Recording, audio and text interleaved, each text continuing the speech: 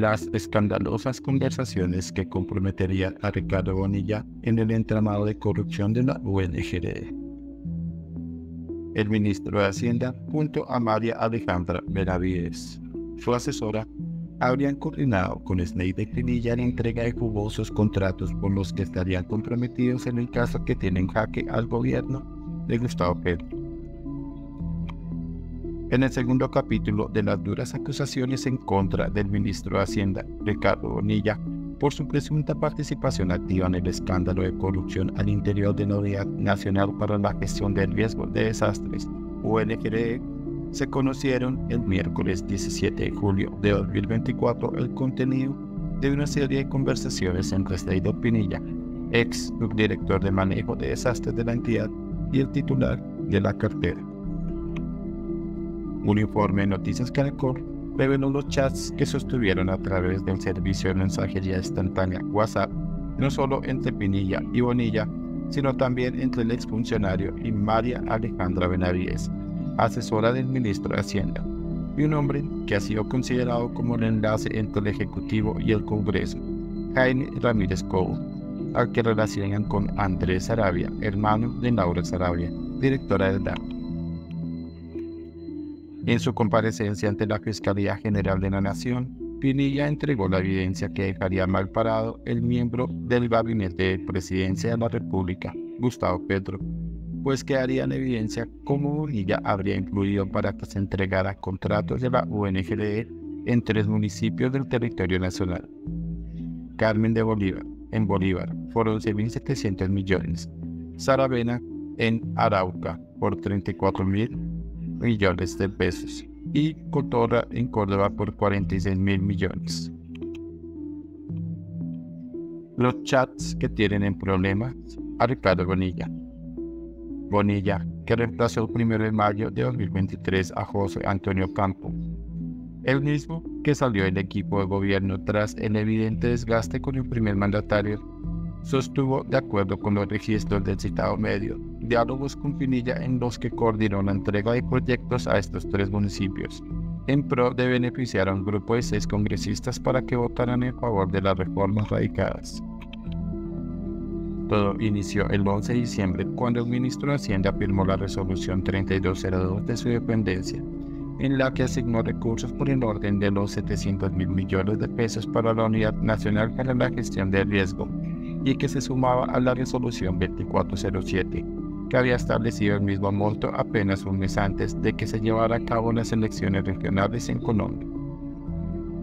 A partir de entonces, se habría empezado a coordinar la manera en la que empezaría a ser distribuido ese botín por parte de Bonilla y su asesora, Benavides, que mantuvo conversaciones frecuentes y constantes para agilizar la estructuración, adjudicación y ejecución de dichos proyectos para los tres municipios en mención.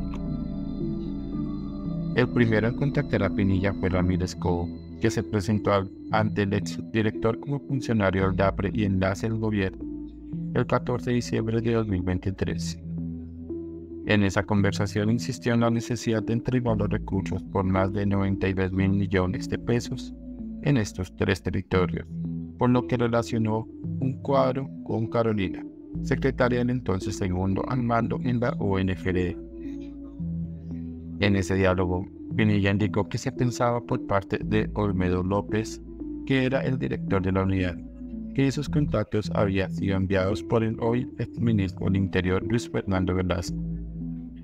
A él le dieron otra instrucción sobre los 700 mil que llegaron, precisó el ex director al asesor del DAPRE, cuando reiteró que se pensaba que al que había que rendirle cuentas era a Velasco.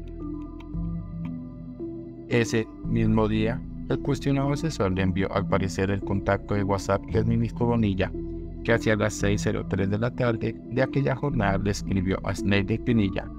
Buenas tardes, director. Fue la forma en que se habría presentado y, acto seguido, le expresó su preocupación por el destino de los recursos de los proyectos viabilizados. Tras esa conversación se habría coordinado para el día siguiente, el 15 de diciembre de 2023, una reunión entre López y el ministro Bonilla, con el fin de hablar sobre los contratos que debían tramitarse. Y fruto de ese encuentro se estableció el primer contacto entre Pinilla y la asesora María Alejandra Benavides, que sería la encargada de entregar detalles necesarios sobre los recursos en Kush. Incluso, la mujer sería la responsable de haber hecho el puente entre Pinilla y los encargados de dichos proyectos en cada una de las poblaciones. Un hombre llamado Harry Pejarano Arroyo en Cotola, al que ella le habría dicho que tiene que hacer. Camilo Díaz en Saravena y en Carmen de Bolívar. El contacto fue con el que era el alcalde del municipio, Carlos Torres. Quería preguntar cómo van los temas.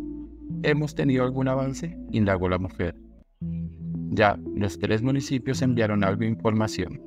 Se les está pidiendo corregir algunas cosas, respondió Bonilla, que luego habló de que debían quedar listos la semana entrante el CDB de los procesos contractuales. Pasaron cerca de seis días para que Benavides reapareciera con sus consultas y empezar, según explicó Pinilla, al órgano de investigación judicial a insistir en la necesidad de que se procediera pronto con las resoluciones y los certificados de disponibilidad presupuestal, CEP, de los tres proyectos en discusión. Aunque para ello habría sido incluso declarar calamidades públicas que ni siquiera existían.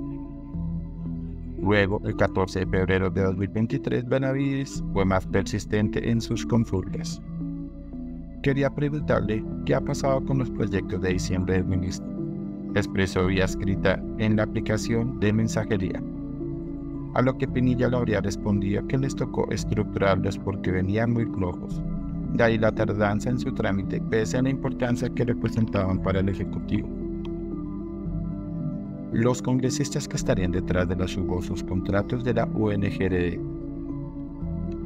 En el reporte de Noticias Caracol salieron a relucir nuevamente los nombres de seis congresistas que eran los interesados en que se ejecutaran los contratos para Sarabela, Cotora y Carmen de Bolívar.